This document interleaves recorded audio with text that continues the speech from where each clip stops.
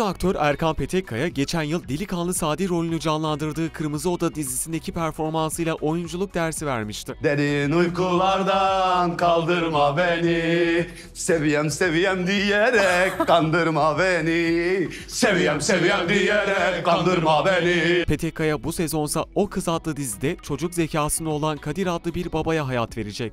Babası böyle, Zeyno bahtı öyle diyorlar. Usta oyuncu hafta içi eşi Didem Petekkaya ile yeni yayın dönemi partisine katıldı. Eşiyle poz veren Petekkaya muhabirlere espriyle takıldı.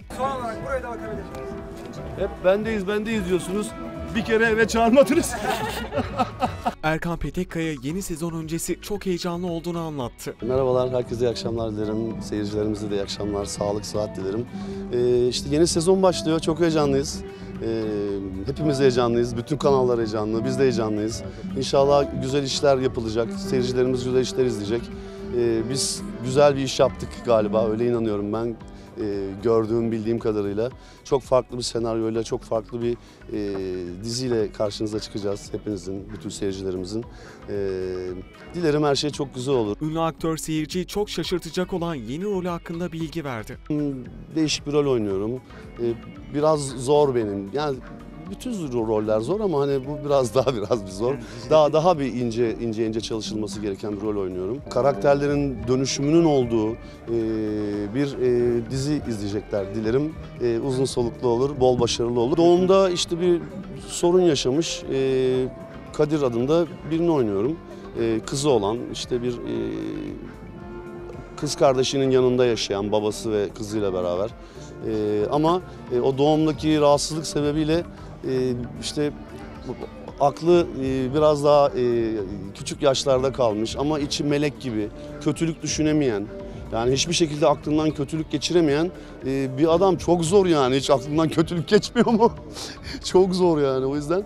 e, ama ben oynarken çok keyif aldım, çok eğlendim, çok zevk aldım. Bilmiyorum inşallah bana çok şeyler katar bu rol çünkü e, bizim mesleğimizde şey yok hani ben yaptım ben oldu diye bir şey yok. E, o yüzden e, yani belki de son nefesini verirken keşke şurayı şöyle oynasaydım diyebilirim. E, dilerim seyircilerimiz de zevk alır. Erkan Petekkaya Adana'da çekilen Beyaz Gelincik dizisindeki partneri Sizin Akbaşoğulları'yla O Kız dizisinde 17 yıl sonra yeniden buluştu. Şimdi seni benimle evlenmeye ikna etmem gerekiyor. Hatırlarsan bana biraz önce hayır dedin.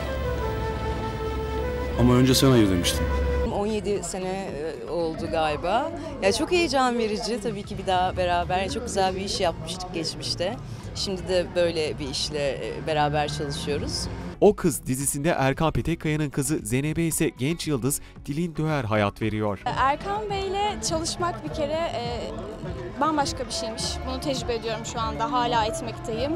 E, oyun esnasında size çok fazla şans e, tanıyor. Onun dışında baba kız olarak bu kadar e, doğru bir eşleşme olamazdı diye düşünüyorum. Kendisi de öyle düşünüyor ve çok şanslı hissediyorum. Ama hmm, şey şey yapmışım. Bahtını kara yapmışım.